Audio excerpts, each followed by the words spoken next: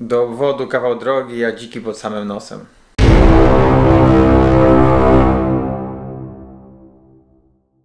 Chciałem Wam opowiedzieć taką ciekawą historię, coś takiego może y, nowego troszeczkę chciałbym spróbować. E, mianowicie miałem możliwość spotkać się z tym rogaczem. Tak, e, dla mnie to jest na tą chwilę e, no, wy- wymarzone trofeum. Tak, jest to e, no, bez wątpienia tutaj każdy, każda, każdy myśliwy wie, że to jest e, e, myłkus, jakby no, w pełnym tego słowa znaczeniu. Tak. Co mi się podoba w ogóle, hmm, o, James przyszedł zobaczyć. Mój pies od razu wie, tak, że coś jest, y, coś jest tutaj na rzeczy. Co, Dziemciu? Co?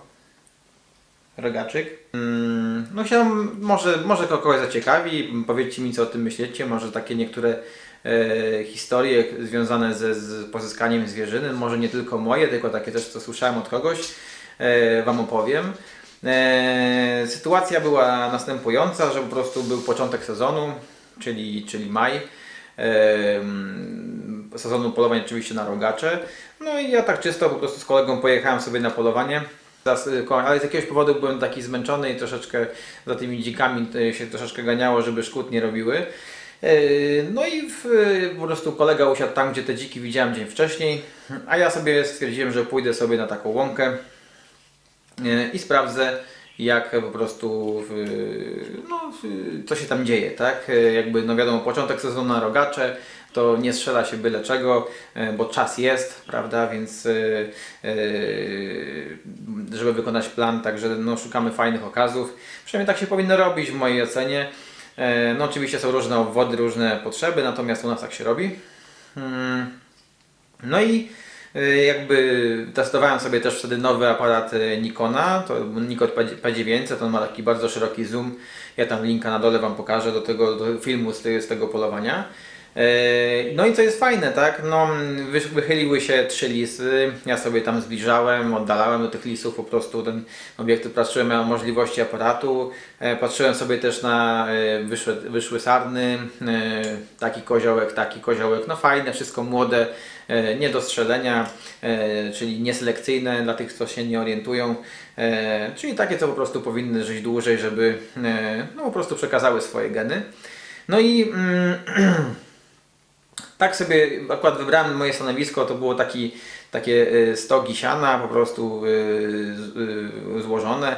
Ja mówię sobie wejdę tam, tak będę miał ładne mm, jakby światło do robienia filmów.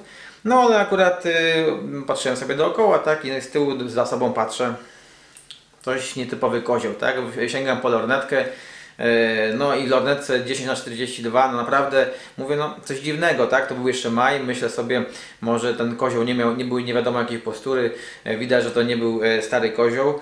Mówię, no 300 metrów e, dzieliła nas taka duża duży, duży jakby taki zalany rów, więc wiedziałem, że ro- narobię hałasu, żeby do niego podejść, więc no po prostu liczę na to, że podejdzie, tak? No ale widziałem, że on ma coś dziwnego e, na głowie. E, Wydawało mi się, że to może scypu albo jakaś trzcina czy coś, no ale zrobiłem tym swoim aparatem zdjęcia, których no po prostu wiadomo jak to jest, tak? Emocje, no nie oglądałem na tych stogach, próbowałem rozpoznać e, w tym, w tym w lornetce, no i nie byłem w stanie powiedzieć co to jest, tak? Więc y, Mówię, z- zrobiło się ciemno, wróciłem do samochodu. Sobie patrzę na te zdjęcia, patrzę na, na zdjęciach, bo no po prostu no, widzę, że po prostu to jest jakiś kozioł dziwny, tak? Takiego, jakiego w życiu ja nie widziałem. Więc no mówię, kurczę, wracam e, rano i sprawdzę, jak to wygląda. Mm. No i wróciłem, tak? Wróciłem, nie, nie mogłem spać, bo naprawdę te zdjęcia do mnie przemawiały, zresztą też je za chwilę pokażę, e, żebyście wiedzieli o czym ja mówię. E, No i wstałem rano, Mm, właściwie wstałem, nie spałem praktycznie, tak? Mm, Dwie godziny w domu, wr- wróciłem szybko, żeby mniej więcej e, to samo stanowisko e, zająć i liczę na to, że, liczyłem na to, że po prostu ten rogacz będzie w podobnym miejscu, tak? No i u- jakby spłoszyłem tam wiele saren idąc do tego miejsca e, przez noc. No i sobie zająłem to same stanowisko, no i patrzę sobie, lustruję sobie okolicę lornetką. No i okazało się, że taki podobny układ, czyli koza z, ko z kozłem, to albo właściwie dwie sztuki, bo nie wiedziałem co to jest, no stoją w podobnym miejscu. No więc mówię, no czekam aż się, aż się rozjaśni, tak? No i te, no jakby te sztuki się rozeszły. No i okazało się, że ten kozioł jakiś tam jest, ale było za ciemno, żeby coś powiedzieć. I ten kozioł z jednej łozy w drugą wszedł, potem w trzecią łozę wszedł, ale dalej było za ciemno, żeby coś powiedzieć. Założyłem, że to ten, bo coś tam było na tym mówię, ale to było cały czas 200 ponad metrów, wiadomo, w ciemno nie widać. No i tyle. I on został w takiej tam trzeciej łozie w mojej ocenie. Mówię, poczekam aż się zrobi jasno i sobie będę podchodził. No i tak poczekałem grubo, aż się zrobi jasno. Eee, naprawdę długo czekałem, bo wiadomo, lepiej na spokojnie go obejrzeć niż tam ewentualnie go spłoszyć. No i w, co? No i po prostu czekałem, no on się nie pojawił, tak? No i już chciałem schodzić. Nagle z, z pól zbiega dzik, nie? E, no przelatek taki, pojedyncza sztuka, nie wiem, za 40 kg taki przelatek. No i zasuwa prosto do lasu, prosto dla mnie zasuwa. No i wbiegł w tą pierwszą łozę, w którą której był, y, tego koza widziałem, potem w drugą łozę, potem w trzecią łozę, gdzie mi się wydawało, że, że, te, że on ten kozioł za, za, y, został. No i nagle patrzę, a wybiegnie przed nim ten kozioł właśnie, bardzo dziwny, na tą chwilę się wydawało, a za nim dzik i tak biegli e, m, razem przez, nie wiem, jakieś 70 metrów. E, przeskoczył e, rów kozioł i w prawo prosto pod mój stóp m, mm, przyszedł, a właściwie przybiegł. Ja mm, próbowałem go cały czas zdefiniować, co to jest za kozioł. No, nie było możliwości, po prostu to jest tak dziwna forma tego poroża, że, że no po prostu to nic mi nie przypominało. E, mówię, no to jest chyba coś dziwnego, tak? On przebiegł mój stóg, właściwie pod samymi nogami.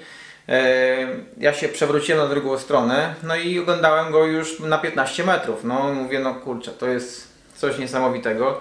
Oddałem strzał, e, wszystko się ładnie udało.